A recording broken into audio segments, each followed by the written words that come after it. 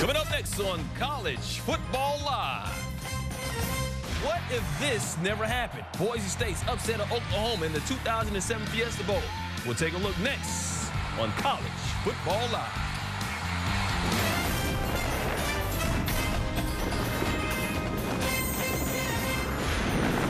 And that's how we roll into the latest edition of College Football Live. Mike Hill hanging out with Ed Cunningham. Thank you so much for hanging out with us. Ed, tell the people why you're so upset today. Well, uh, Boise State. Fired up. Fired up. Yeah. Boise State, we're going to take a look at their schedule. We'll break it down and look at all of their tough games. They've got the schedule to win, but they've got to win them all, of course, to be in the national championship.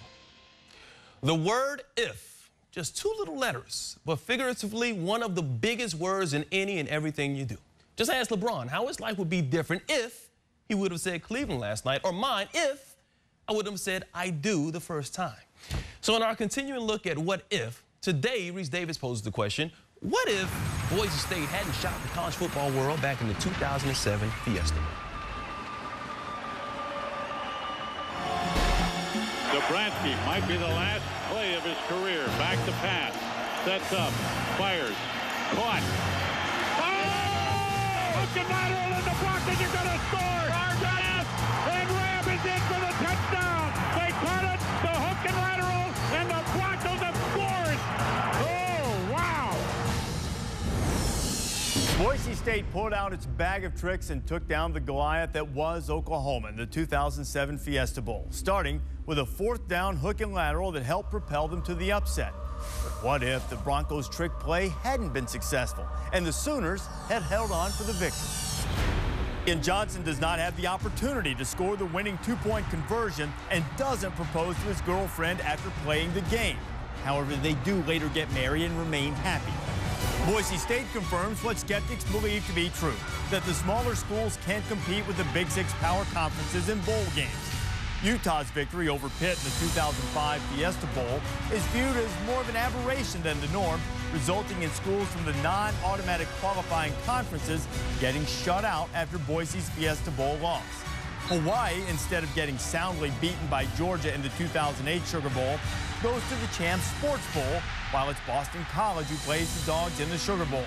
The following year, an undefeated Utah team winds up in the Poinsettia Bowl instead of dominating Alabama in the Sugar Bowl. The game is also a tide-turning performance for the Oklahoma Sooners. Head coach Bob Stoops regained the moniker of Big Game Bob, interrupting a streak of BCS bowl game losses. With newfound bowl game confidence, the Sooners ride the momentum to a BCS bowl game win in 2008 and a national championship win against Florida in the 2009 title game. It is the question that can't be answered with any certainty, but one that opens so many possibilities. What if? Well, Boise State hasn't looked back since that win. The Broncos have won 90% of their games in the last two WAC championships. Last season, Boise State captured its second BCS game victory, returning to the Fiesta Bowl and knocking off fellow non-AQ school TCU. This upcoming season will be the Broncos' last in the WAC as they will join the Mountain West in 2011. And we are now joined by the quarterback of that Fiesta Bowl winning team, Jared Zabransky, who is currently the quarterback of the Edmonton Eskimos up there in the CFL. And Jared, take us back now. It's fourth down. You get that play call. What's going through your mind? Well, my my thought process was pretty simple at that point in time. You know, complete the pass and give us a chance to to uh, you know have a play there. You know, first and foremost, call the play in the huddle uh, you know, we were very detail oriented at Boise State, so it was just down to the basics, and that was the best way to execute for us. So, uh, you know, throw, throw a good ball and, uh, you know, take off running, basically. Several trick plays worked for you guys in that game. How often did you practice the trick plays? The trick plays or trick plays, period? The trick plays, period. Uh, did you just play around? How often did you, when did you nah, practice nah, these?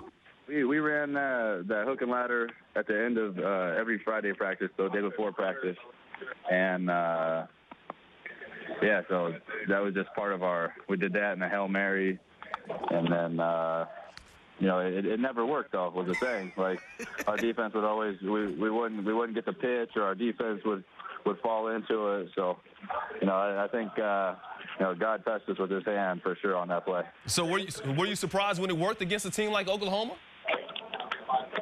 Well, you know, looking back on it, yeah, but if you really dissect the situation, they were uh, a very aggressive team, and I think that corner just kind of fell asleep on that play and kind of took it took it for granted. Hey, how do you think that game changed the way we look at non-automatic qualifying schools in the BCS and the national scheme of things? Well, I think it changed the scope dramatically, and uh, you know, as soon as that game was over, I, I said it on on live television or, or uh, in the press conference afterwards that that was probably the biggest game in, in college football history, and and my thought process was because of that, because it, was going to force, you know, all the all the BCS Buster talk and and tournament talk and all that different stuff, and I still feel that way. All right, seems like your, your school is about to make a move to another conference. What are your thoughts on uh, Boise State moving to the uh, Mountain West? I think that's a I think that's a good move for us. You know, I, you know, it's, it's hard to move from a, a, a non-BCS to another non-BCS. You know, and it's hard to say that that's that's a, a big upgrade. But the, the conference is a stronger conference uh, by and large. But you know, I, I would have liked to see us move into the Pac-10 or, or to a BCS school, or or uh, you know, if they if they were going to move into the Mountain West, I'd like to see them, you know, remove a couple of the the poor teams and mm. and uh, you know make that a BCS conference. Very interesting right there. All right, Jared Zabransky, man, thanks for joining us today, and uh, good luck up there in Canada with the Edmonton Eskimos. Yeah, I appreciate you. Thanks for having me. Eh, you were also in Glendale that night. Uh, what do you remember about that game? You know, it was amazing sitting in that stadium uh, about midway through the third quarter. I was doing the radio call with Ron Franklin, so I had a great seat listening to a great play-by-play -play guy. And in radio, the play-by-play -play guy has to do a lot of the work. I actually got to just sit and kind of suck it in and, and watch what was going on in that field. And there was a moment in the third quarter, we went to break, and Ron and I both looked at each other and said, something, something feels special here.